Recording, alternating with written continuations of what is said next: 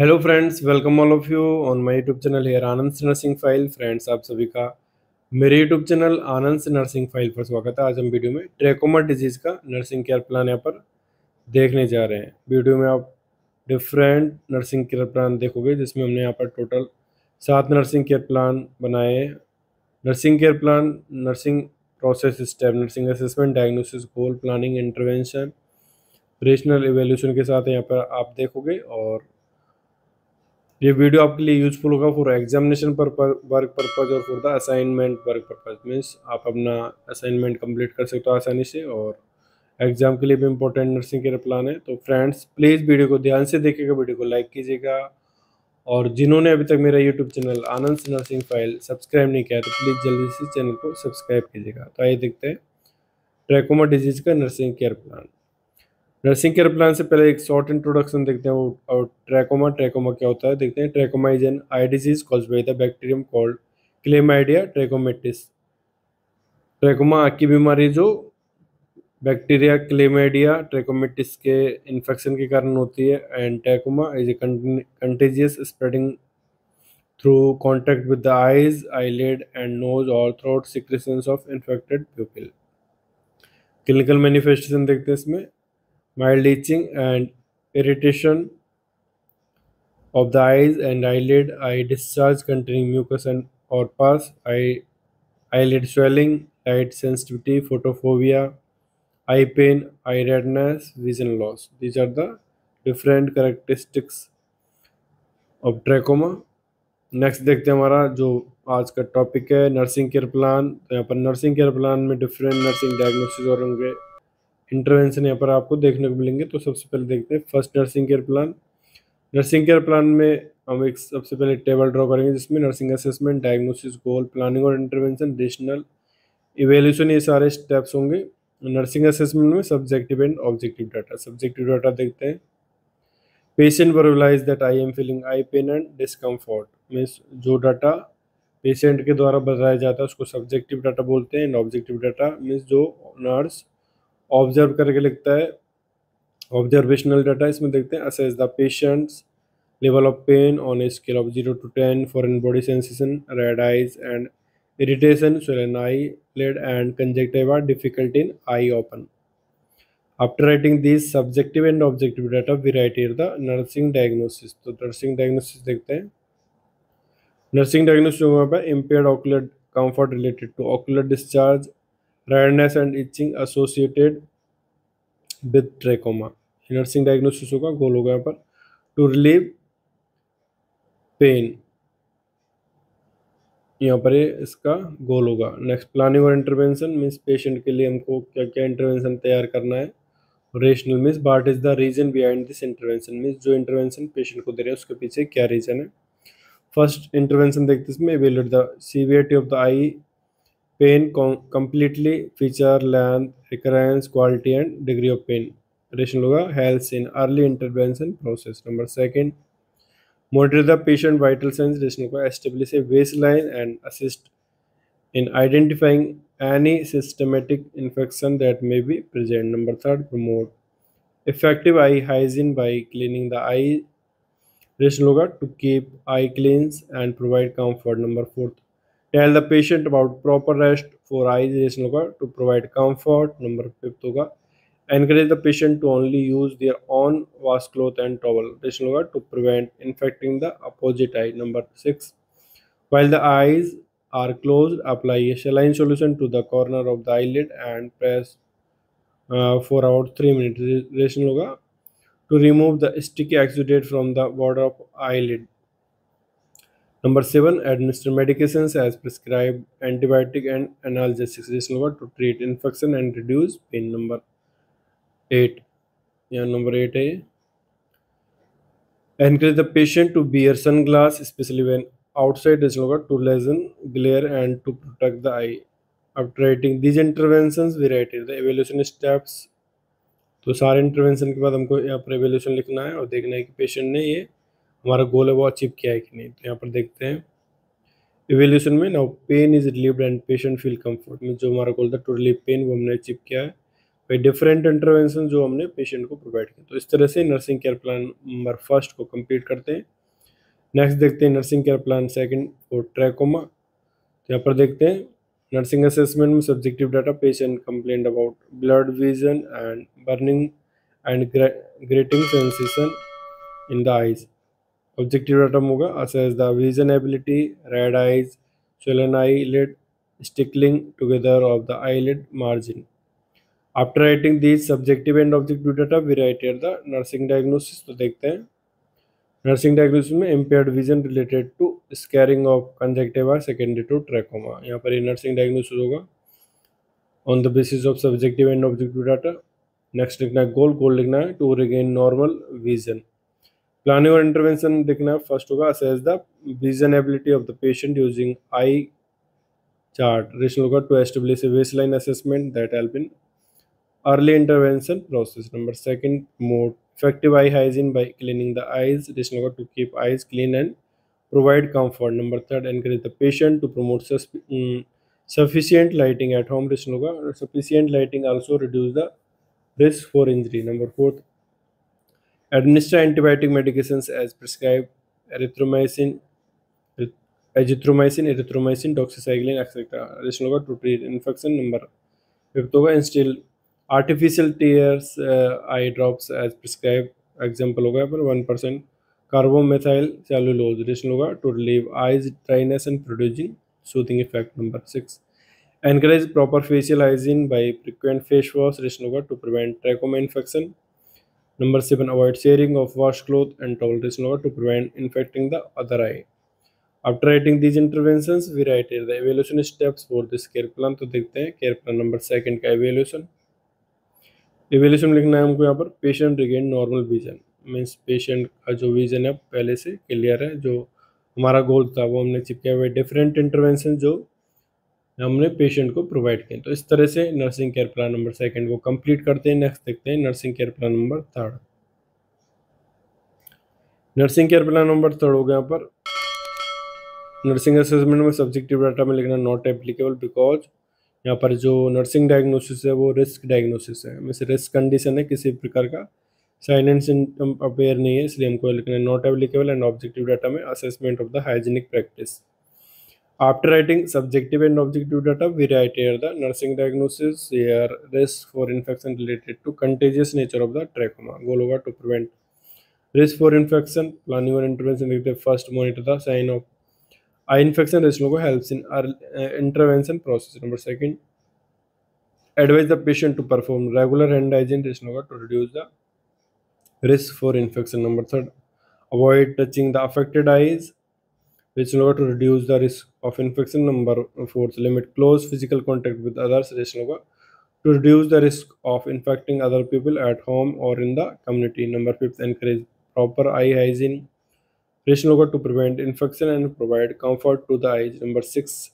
teach about source of in, in infection. Rational main source of infection is the conjunctival discharge of the infected person. Number seven, talk about mode of transmission. Rational trachoma may spread by direct airborne uh, through flies. Number eight, avoid sharing of uh, washcloth and towels. Rational to avoid cross contamination. Number nine, over teach the patient to self administration of eye drops on the affected eye. This will to avoid contaminating the eye drop container. After writing these interventions, we write here the evaluation steps for this care plan.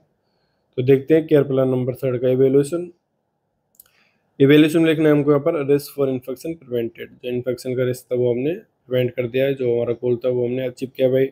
Different intervention जो patient को provide किया था। इस तरह से nursing care plan number third को complete करते हैं। नेक्स्ट देखते हैं nursing care plan number fourth fourth trachoma इसमें देखते हैं नर्सिंग असेसमेंट में। सब्जेक्टिव डाटा में लिखना not applicable because this is risk diagnosis यहाँ पर। रिस्क कंडीशन है, किसी प्रकार का साइन एंड सिम्टम अपेयर नहीं है एंड ऑब्जेक्टिव डाटा में देखते हैं। Assess the visual ability. After writing these subjective and objective data we write here the nursing diagnosis तो यहाँ पर देखते हैं नर्सिंग डायग्नोसिस में risk for injury related to visual problem को होगा to prevent risk for injury planning और intervention देखते हैं इसमें फ़र्स्ट होगा assess the degree of visual impairment इस होगा to establish baseline of visual activity and gain useful information before management. Number second pay, pays place the correct करना है place है place the bed PLC place the bed in the lowest position rational to prevent or minimize injury of the to prevent or minimize injury of the patient number third place the call valve within reach rational to prevent or minimize injury of the patient number fourth keep the visual aids and patient's phone and other devices within reach rational to prevent or minimize injury of the patient number five provide adequate lighting in the patient room. Rational adequate light help in visual perception and prevent the in, uh, injury risk. Number six ensure that the floor is free of uh, objects that can cause the patient to slip or fall. Rational to promote safety measure and support the patient in doing activity of daily living optimally. Number seven, advise the patient to wear sunglasses, especially when going outdoor, to reduce glare and help protect the eyes. After writing these interventions, we write here the evaluation steps. तो देखते हैं care plan number fourth का evaluation यहाँ पर लिखना है. Risk for injury prevented जो हमारा गोल था to prevent risk for injury वो हमने किया बाई डिफरेंट इंटरवेंशन जो पेशेंट को प्रोवाइड करें तो इस तरह से यहाँ पर केयर प्लान नंबर फोर्थ को कंप्लीट करते हैं। नेक्स्ट देखते हैं केयर प्लान नंबर फिफ्थ वो trachoma care plan number fifth में नर्सिंग असेसमेंट में लगना है सब्जेक्ट सब्जेक्टिव डाटा में नॉट एप्लीकेबल बिकॉज़ ये भी यहाँ पर रिस्क डायग्नोसिस है।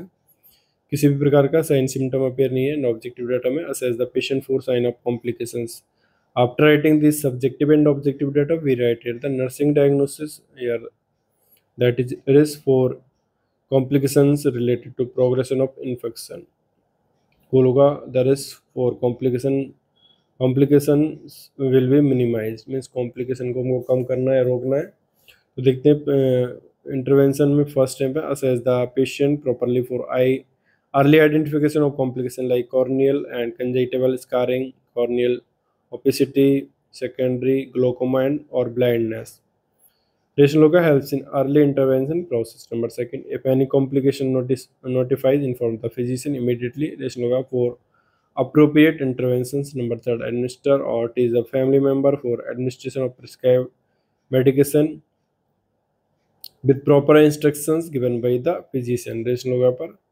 tetracycline 1% or erythromycin 1% eye ointment two times per day for six weeks as prescribed for the treating trachoma.